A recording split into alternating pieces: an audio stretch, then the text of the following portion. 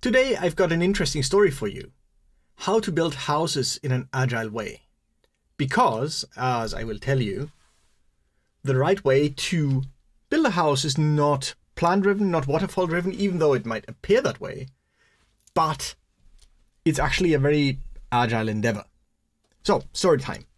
We have a house, and a couple of years ago, we went and we essentially removed the entire top portion of it. We we took off the entire roof except for, except for the big whatever they call the big blocks of wood that carry the weight of the roof. We removed all of the walls except for half of one, and then we recon- reconstructed the whole thing.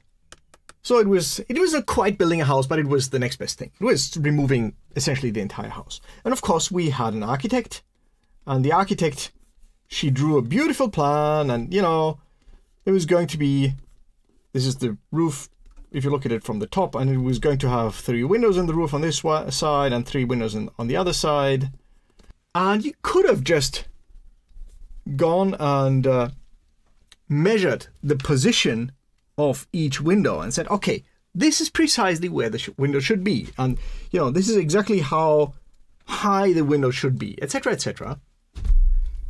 But it was very well understood that all of this was just a roadmap, let's call it, because there were, of course, the, the big structural members on the in the roof structure in there somewhere, and we didn't know where yet.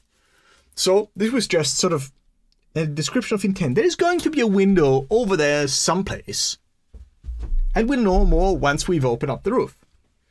And sure enough, we opened the roof. We discovered where the where the big joists, I think that's the word, where the joists are, and that's the point where we could say, okay, fine, we're going to decide on the dimensions of the windows now. We're going to order them. We're going to put them in once they arrive.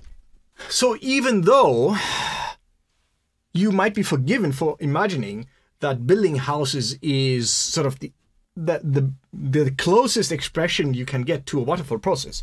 You have a plan, and then I don't know, a backhoe arrives and it digs a hole, and then somebody brings the bricks, and you you stack the bricks until you're done with a house. But this is not how it happens.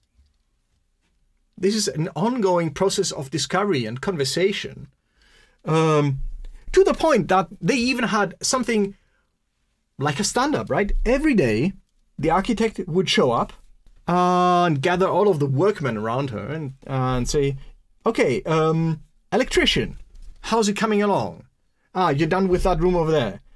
Uh, drywall person, how's it going along with the dry drywall? Oh, you're also done with this other room. Okay, in that case, electrician, grab um, grab the building owner, ask him where he wants the, the sockets, because now you can you can uh, pull your electrical wires because the drywall is done. And of course, nobody called this agile; they just call it common sense. But of course, this is what it was. This this was your traditional stand up. They were also all standing up, to be honest.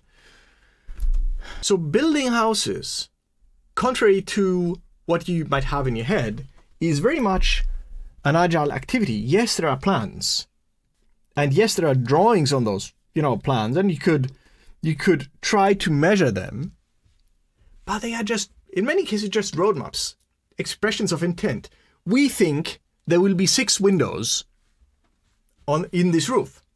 The details will be determined at the right time so i suggest that you take inspiration from this and say okay well if somebody can actually build a brick house and be agile about it i should be able to build software in an agile way with even greater ease.